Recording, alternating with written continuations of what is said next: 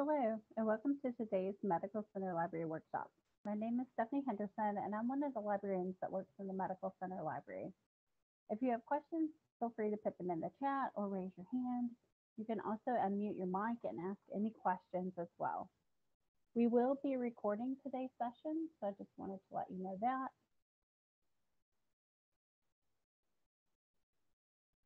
So for today's agenda, we're going to discuss the differences between review types and explore the ways in which medical librarians can assist you with the different reviews that you may be doing.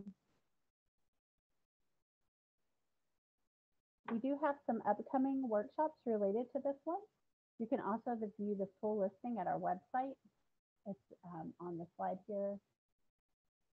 Wednesday, October 14th, we have an introduction to systematic reviews. Then Tuesday, October 27th, we have translating searches for systematic reviews. and then on Friday, December 4th, we have the new PubMed for systematic reviews. And then the link to our guide is right here.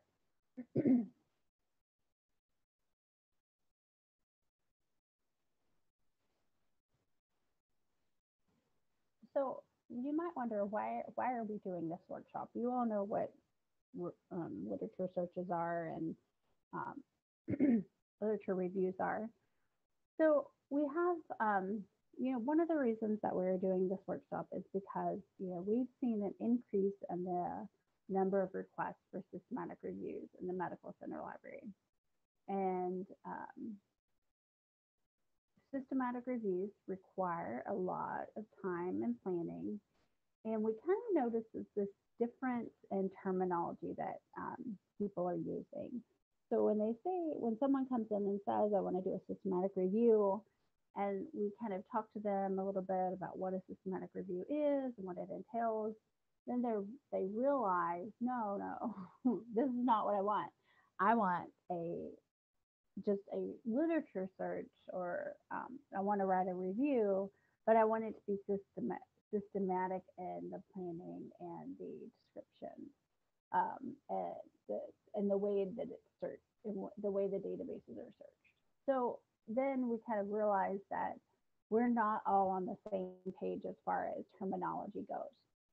So what we want to do today is to get everybody back on the same page and um, realize like help you all help everyone realize that we do have um, some tools and resources available for you in the Med Center Library um, and in the UK libraries to help you clarify and make determinations of what kind of reviews that you want to undertake. That's kind of the goal, or so kind of the background information um, about why we're doing this workshop.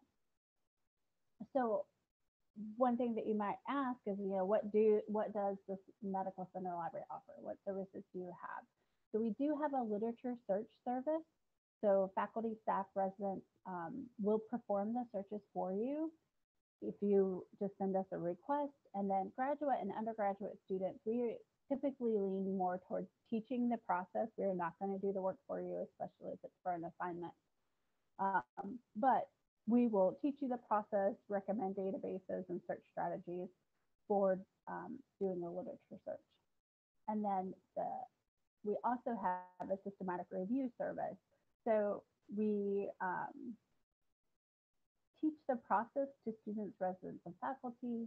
We consult and advise on the process and tools. Um, you know, sometimes people come in and they say, I want to do a systematic review, but it, their question lends itself to a scoping review or maybe a rapid review. And so there's many types of reviews, review types that we're going to get into a little bit later. Um, and so that we can consult with you and tell you, here's the best, um, the best review type for you, for your question. Here's some tools that we have, um, you know, checklists, um, you know, your PRISMA statement and protocols. So we can advise you on that whole process. And with the literature search, um, we do have you know, several databases that we subscribe to. We have EndNote for like the management of the data. And so we can um, advise on that as well. And then the other option is for us to be a review team member. and that would require co-authorship. So we actually would do the literature search for the systematic review for you or whatever review type you're doing. Um, we would, you know, um, get all the data into EndNote and extract it, and we would um, follow the protocols and write the methodology.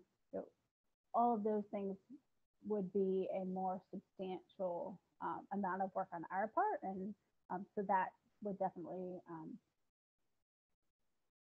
be would um, lend itself to co-authorship. So just talk about that a little bit. So now what I want to do is kind of um, this go over this chart right here. So we have what is a systematic review, what's a literature or narrative review. It's common to confuse systematic and literature reviews as both reviews are used to provide a summary of the existent literature um, or research on a specific topic. But even with this common ground, both review types are very different. Um, systematic reviews are often compared to traditional reviews. Um, however, narrative review articles typically don't use explicit or systematic approaches in the review process, and they're more subjective. Subjective, sorry. in a narrative review, search strategies are not described, um, reasons for inclusion and exclusion of the studies are often not specified. Critical appraisal is not done, and methods for synthesizing the evidence are not clearly stated. Transparency is missing. Um, consequently, narrative reviews are more biased and they have a higher likelihood for inaccurate or unsubstantiated conclusions. So, systematic review really extends beyond the findings of a traditional literature review by employing a rigorous research method to extract the data from studies that had been assessed for their quality and then combining the findings into a set of recommendations. So a synthesis statement can also be used to represent the findings of a systematic review um, in which extremely, extremely valuable for the, that business practitioner that's um, likely it's going to reduce the lag time for getting new evidence into practice. So again, we're talking about um, when we think about evidence-based medicine or evidence-based practice, and we think of systematic reviews are often at the top of the they are at the top of the pyramid, and that's really the gold standard. And lots of times practitioners read these systematic reviews um, because they want to know what is, you know, am I doing, like, is there new evidence that would support changing the way that I um, care for a patient? You know, there, it's really, it's about um, changing care practices. So we want to make sure that systematic reviews are quality and um, are transparent and that they are not full of bias. So we really want um, those systematic reviews to be done appropriately. So one of the major differences between the systematic review and a traditional literature review is that the systematic review is guided by a protocol. We'll talk a little bit more about protocols a little bit later, but the protocol serves as a blueprint to clearly and succinctly describe how the review is done and why it is important. Um, that the review be done, what are the methods used to conduct the review, and how will the findings of the review, how are they going to be used? I also want to point out on the chart um, the number of authors and the timeline, these two areas. So in a systematic review, it's typically three or more people. And then in a literature or narrative review, it's typically one or more. In a systematic review, they take months to years. The average is about 18 months. This shocks a lot of people when they um, when we talk to um, when we talk to them about how long a systematic review takes. It takes a lot longer than you expect. Um, and then literature reviews can you know be done in weeks to months.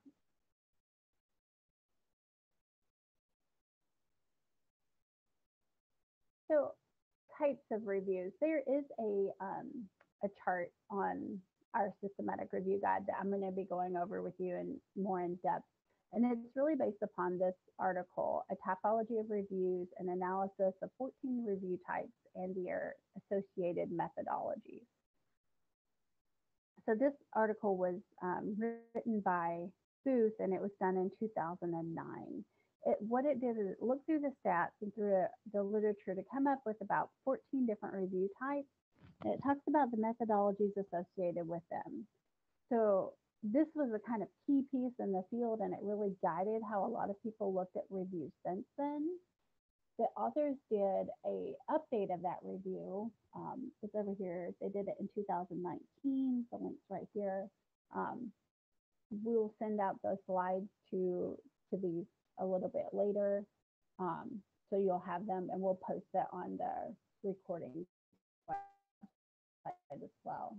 so they did a broad searches of these um, to see what kinds of reviews people are doing in the field and they identified 48 different review types and they grouped those into seven different families. So really there's a review type for any kind of question that you might have. Um, and again, you can, this is the basis, this 14 reviews is the basis for the chart that I'll be going over. But if you would like to learn more about the review types and the families, you can read this 2009 update, 2019 update. So um, our systematic review guide, I'm going to actually go out to the internet live and show you how to get there. This is the chart, um, it's a screenshot of the chart. It's really, um, it's really helpful. so, um, and especially when you don't know a lot about systematic reviews and you're trying to decide what, you know, you have a question that yet it doesn't lend itself to a systematic review. So that's where this kind of, um, this chart will help you be able to determine which, which one you should do. All right, so let me um, stop sharing for a second and then go on out to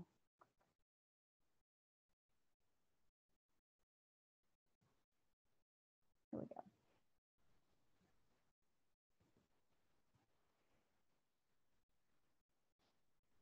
One second, sorry. okay, now we should be at the right spot. So if you go to the Medical Center Library, you can um, get to the systematic review guide a couple different ways. You can click on this research guides and just type in systematic reviews, or you can go down here um, to guides and it's listed systematic reviews right here. That's where I'm gonna go. And then um, before we go to the review chart, um, the types of reviews chart, I'm going to just kind of give you an overview of what is in this guide. So um, this is a definition of what is a systematic review, um, how can the Medical Center Library help. This is where you can request a systematic review consult, or you can also click this button over here. This goes to the same form. And once you click on the form, we'll want to know a little bit of information about you. What is your question? What, you know, databases have you searched so far? Um, what some articles that you think would be included in your review, and just some other questions for you. So what this does is this helps us get on the same page so that we're um, that will make the consult more productive. so we don't want to we want to get as much information from you as possible so that we can really start to help you um, in that process. And so then um, what to know before you start, just some tips here for you. We'll go over this um, chart as well. What type of review is right for you? We're going to talk about that one. And then just the basic um, timeline for a systematic review. Again, months, months and years, not weeks and months. And then um, we're going to go over this one. This tells you the types of reviews. We have some books here for conducting systematic reviews, and like um, we have one on searching the gray literature. And this systematic review steps, this one is really important. It um, discusses um, all the steps in the systematic review process. And we have guidelines and standards linked here for you um, as well. So develop a research question, create a protocol, literature searching, um, study selection, you know, reporting your results, everything is right there. And so we have uh, some documents linked here for you. We have a few templates um, here as well. So there's a lot of good information here. And then finding existing systematic reviews. So once you're, um, you know, you don't want to ever start a systematic review without finding out if there's already been one done. So there's some tools here for how you can find that information. We have some data management, um, a, table on data management here as well. Um, so kind of some software that is provided and it will tell you if it's free or if it costs money. Then we also have um, some systematic review tutorials. So I just want to kind of give you an overview of this, um, this guide because we do have a lot of information in here. So we want to um, make sure that that gets known. All right, so let's go to this types of reviews. So again, this is based on the 2009 Booth article that was 14 review types. So we've already kind of, I'm not going to talk about every single one, but um, we've already talked about literature reviews. Um, so we've already discussed that one, and we've already kind of discussed um, systematic reviews. So let's go um, up at the top here. So mixed methods reviews. So this is one that we get a lot. Um, people ask a lot about this um, this type of review. And so mixed methods review summarizes the findings from a study with diverse designs. So qualitative, contextual, economic, quantitative, observational, experimental, and mixed methods to better understand the complex interventions, programs, and phenomena. So it really asks what does qualitative and quantitative evidence tell us about? It is premised on the belief that a single method review provides only half of the information needed to care for patients or to make healthcare decisions in real world situations. It combines contextual data that captures the human experience and allows the voice of the client or the provider to be heard, along with numerical data on the effectiveness, um, on the evidence effectiveness. So then we, um, and you can kind of see um, it requires either a very sensitive search to retrieve all of the studies or a separately conceived search um, to get quantitative and qualitative strategies. So you kind of search a little bit different for every type of, every single one of these review types.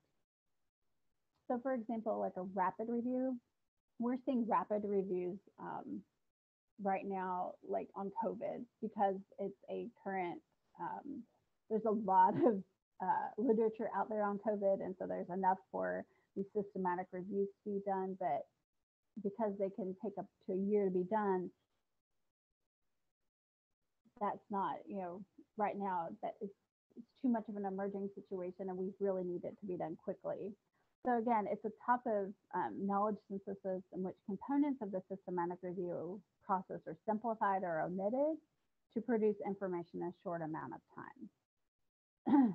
so one of so we can kind of um, look to rapid reviews so to guide um, like following these parameters. So in a systematic review you would typically search a lot of databases but so maybe fewer databases are searched for a rapid review and often only one is searched.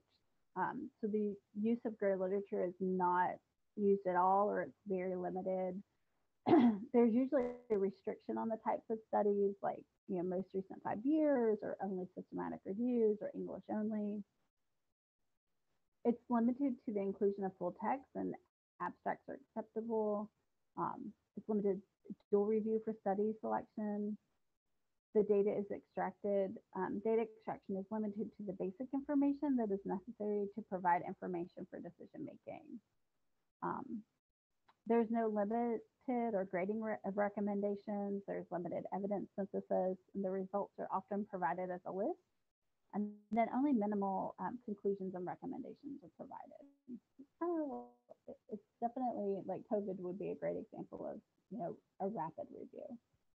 So then scoping reviews are, um, they're defined, when you do a scoping review, you're looking at a very broad um, or panoramic view of a topic.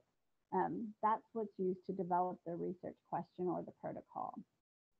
And and we'll talk about scoping reviews a little bit more um, later in the presentation, and I'll kind of give you some ex an example of this of, of a research question for a scoping review. Again, they're very broad.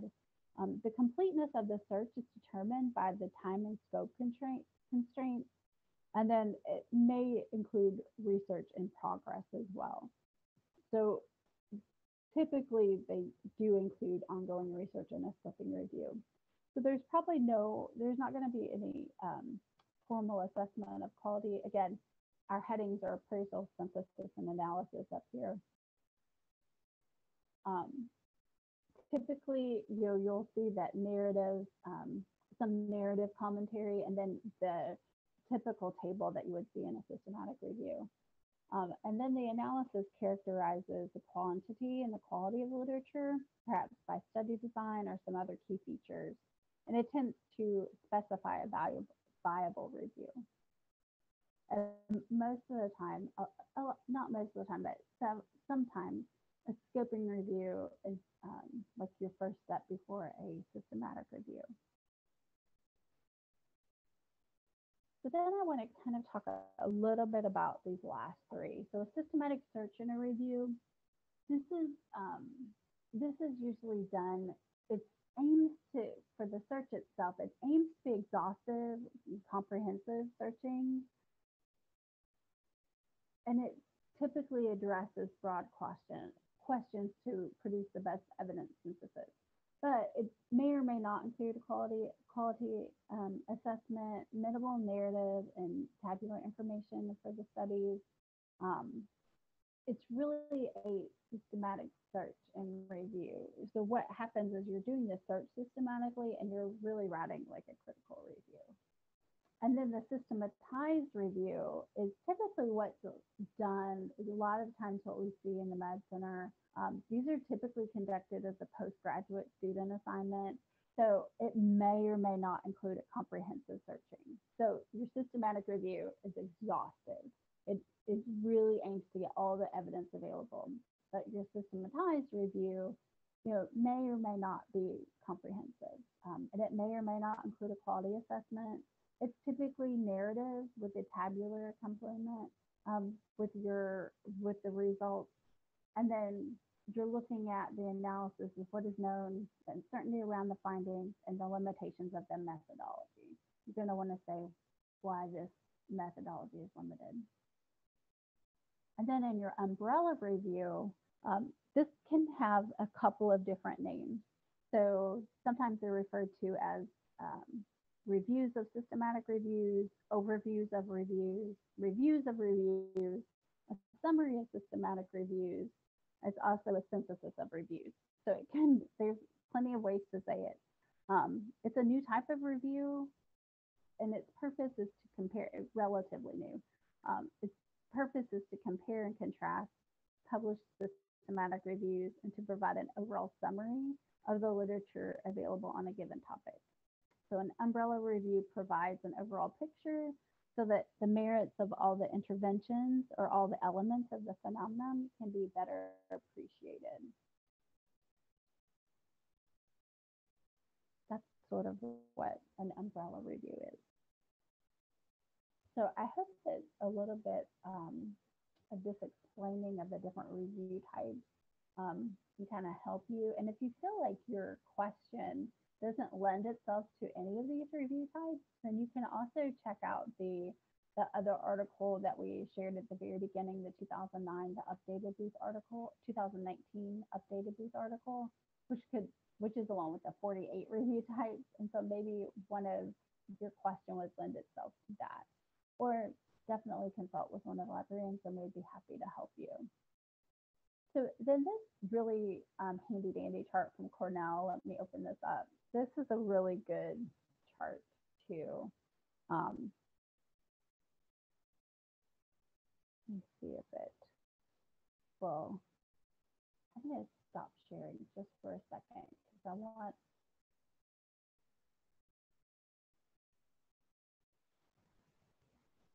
I want to make sure that I'm sharing the right screen. So There we go. Yeah, I am. Sorry. Just wanted to make sure I um, sharing the right screen here for you. Let me zoom this in a little bit.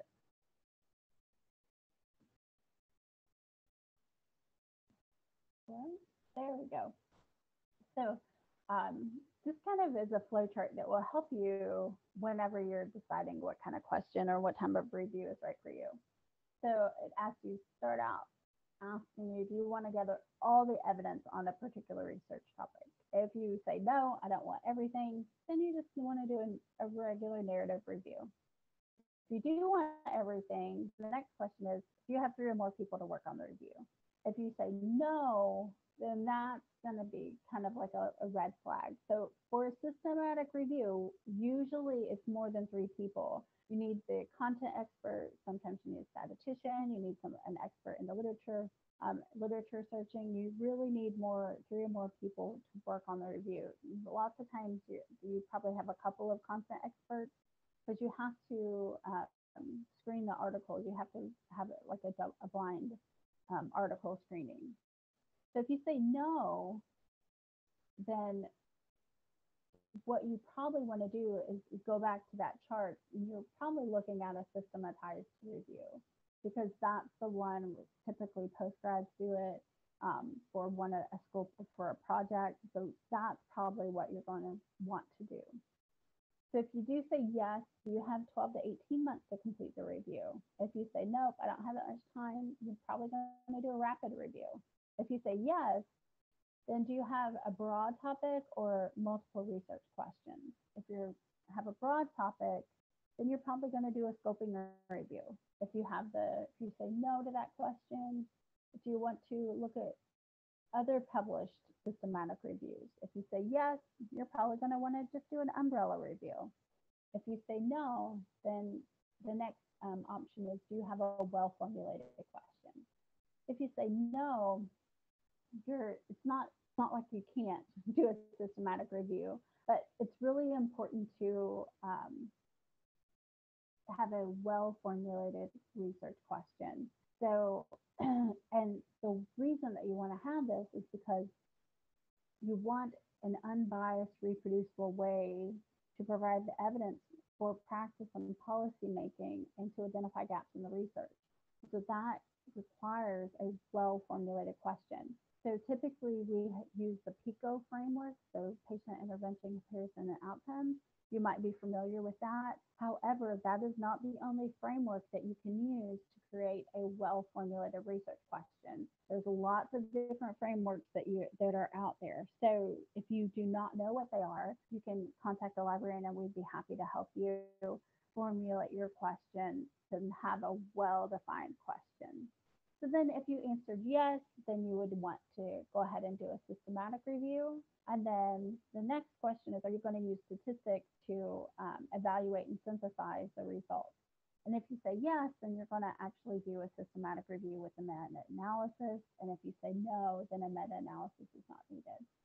So this is a good um, a good flowchart to just kind of get you in the right space to think about, um, you know, what kind of review am I wanting to do, and you know what, how much time do I have, and you know all of these questions that you have to do, what you have to think about when you're planning a review. all right, so now I'm going to go ahead and stop my share again and get my PowerPoint back up. All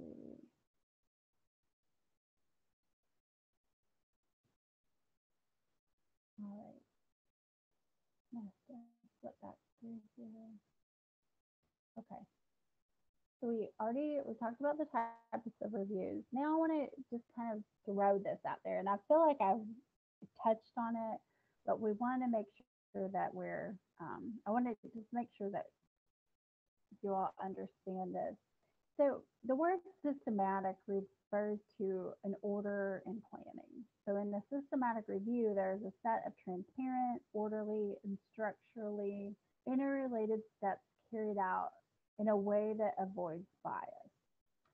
So what is happening is that there's been a trend that has been identified and that is it's talked about in that 2019 Booth article that because of the influence of systematic the systematic review model, it impacted other forms of literature reviews that are requiring um, that they be more systematic in their procedures, explicit in describing their methods, and to the extent possible, reproducible to facilitate consul- consolidation of knowledge. So sometimes we have students, um, most of the time students come in and say, I want to do a systematic review, but what they're really tr- looking for is that they just want to be more systematic in their procedures.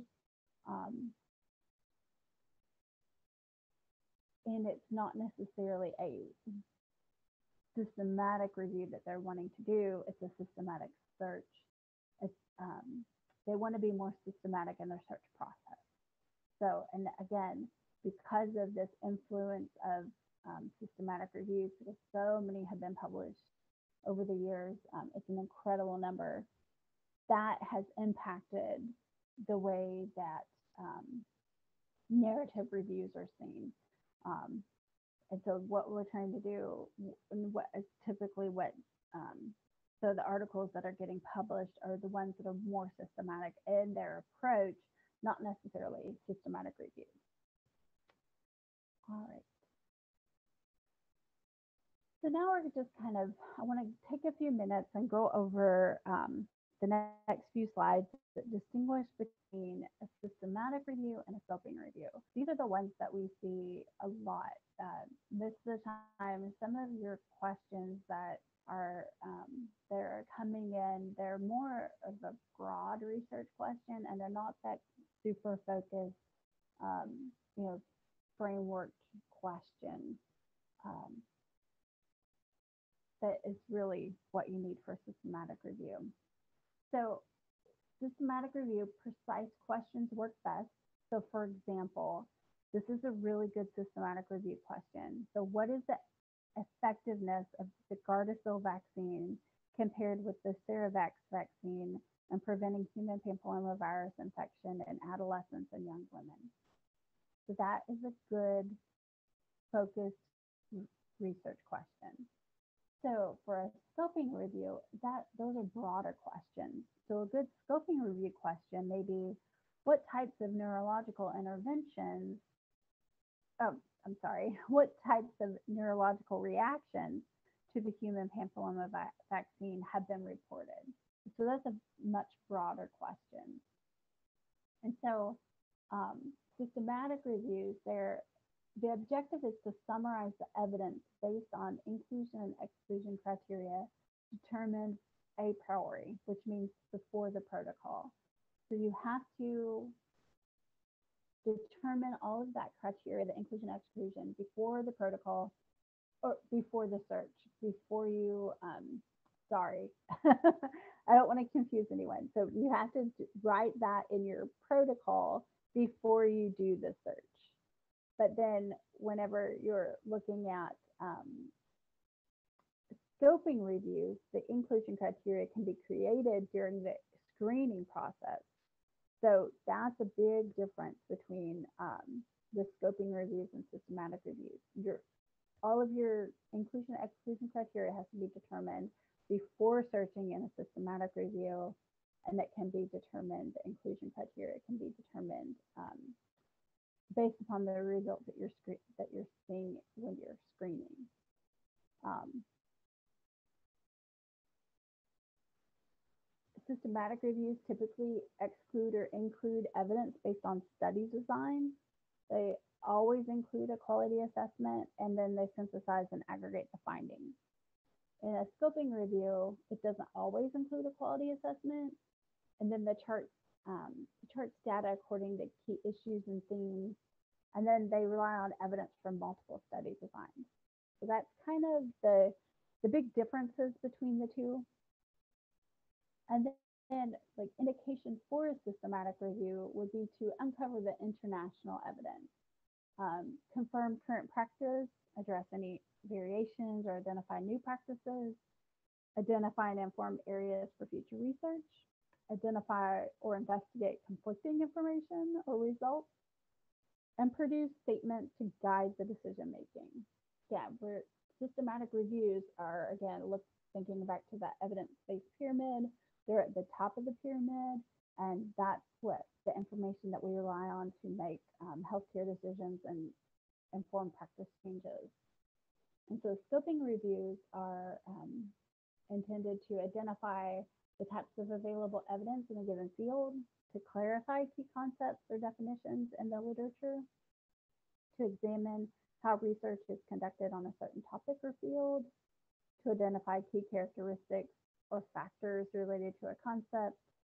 Sometimes they're a precursor to a systematic review, and then um, to identify and analyze knowledge gaps.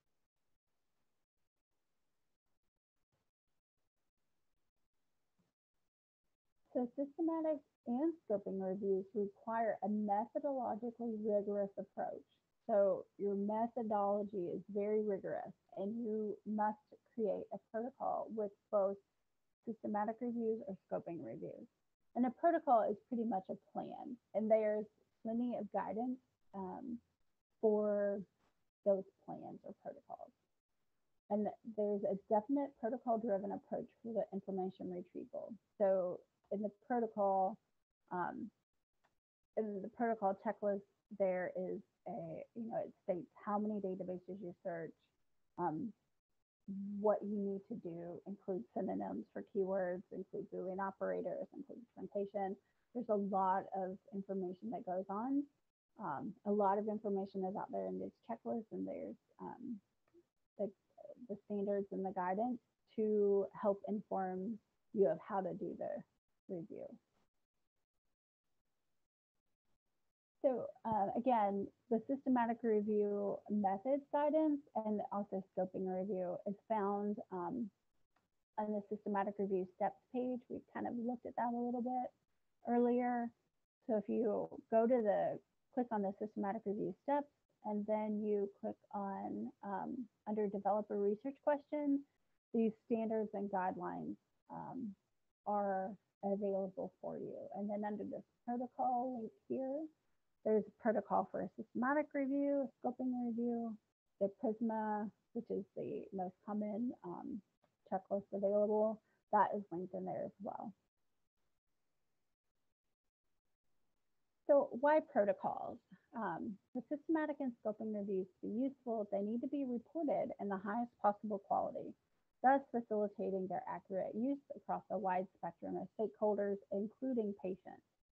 So the gold standard for identifying and reporting biases is comparison of the completed review paired with its protocol. So this is difficult with systematic reviews as too few of them report working with from a protocol, although a growing number of funders now require that. If you want to read more about it, there's a link in the references to um, the Systematic Reviews Journal. And that's, um, there's more information that you can find in the references about that. So some of the protocol reporting guidelines for systematic reviews, there's this, um, the Cochrane PH group guide for developing a Cochrane protocol. Cochrane is like the highest level of protocol um, of uh, the most rigorous and highest level of systematic reviews. Um, there's the, then there's the PRISMA reporting items for systematic reviews and meta-analysis. So the PRISMA P, um, which is standard, that's the one that most people use. And then you can register protocols on PROSPERO, which is an international registry for protocols. And then if you publish your protocol, um, you can publish them in like BMJ, BMJ Open or other journals that um, that accept protocol publications. OSF will let you um, publish your protocol. It will also let you register your protocol in there as well. Um, for scoping reviews, you use the Prisma P or and or the Prisma um, scoping review checklist um, to help guide your protocol. So again, this is not, you know, it's not like there's nothing out there to help you along in the process of creating your protocol. There's a lot of guidance Um, again, those can be found on the systematic review guide, but if you definitely, if you have questions, you can definitely contact um, one of the medical librarians. So how can we help you? what can the librarians do to help you? So I've talked about, I feel like I've talked about us enough and throughout this presentation, but just to reiterate that we can, we're available to consult with you. Um, ideally, before you start the project, you know, it's kind of difficult if you've already done the search and you've already written up your results and you contact us then. So the earliest possible time um, would be ideal. And then we can help you determine the best review type for your question. We can also provide you with a literature um, literature help. Uh, you know, databases, suggest databases to search in, um, review syntax, um, search syntax, um, provide suggestions for subject headings, things like that.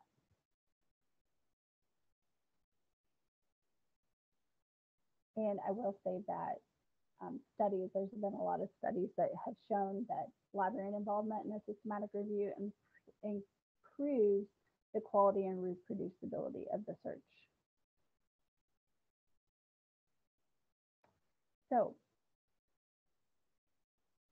we can also help with the searching process. And um, I'm talking about like precision and sensitivity when I say that. So imagine that this image represents all the literature in the world.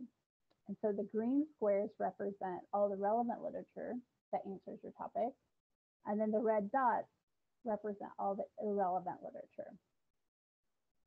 Okay.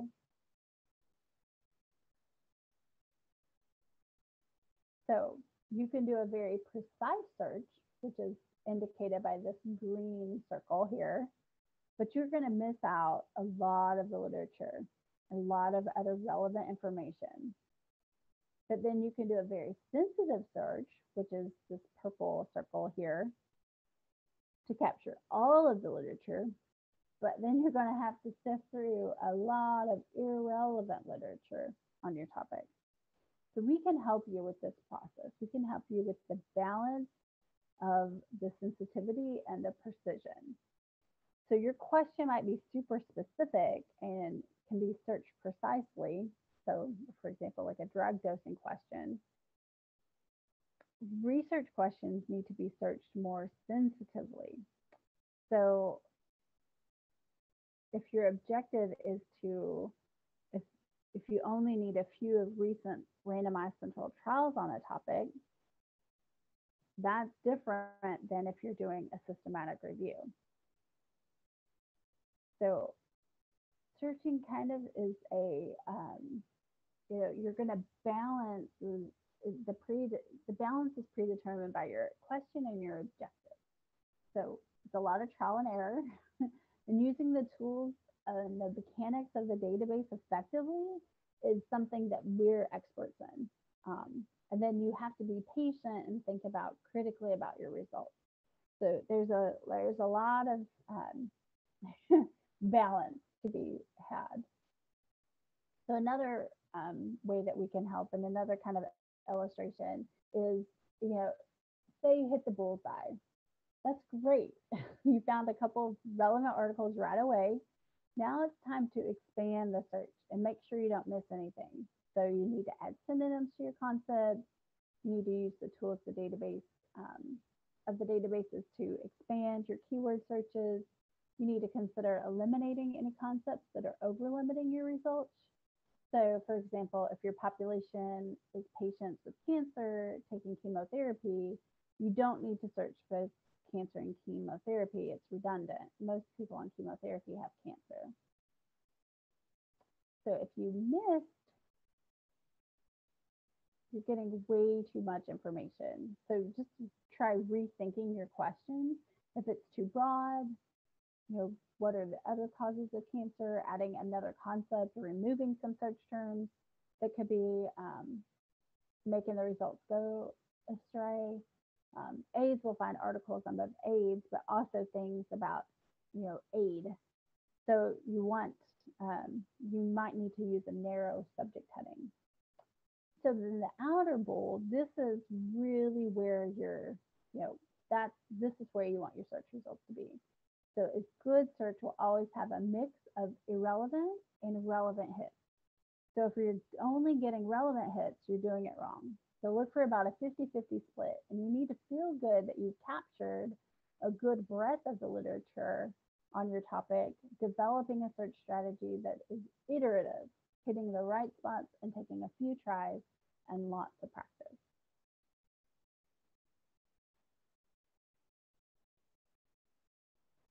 So this is the, I feel like we've talked a little bit, a lot today about um, the systematic reviews and scoping reviews and other types of reviews. And I feel like you have a good grasp of the different types of review designs and a good grasp of how the medical center can help you in your search needs and whether you're trying to just do a literature search or you're just trying um, or you really need, need help um, with that more systematic review.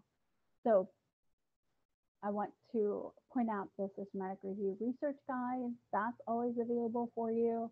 You can email us at mclib at uky.edu. That's our MCLIB reference email. If you email that, it will get filtered to the correct person. You can use the um, literature search request on the um, on the medical library's homepage if you're just needing a literature search done. And then there's that consult on the systematic review guide if you really think that you might want to undertake a systematic review, or even if it's a different review and you're not quite sure, you can use that guide as well. And then there's our website link available for you as well.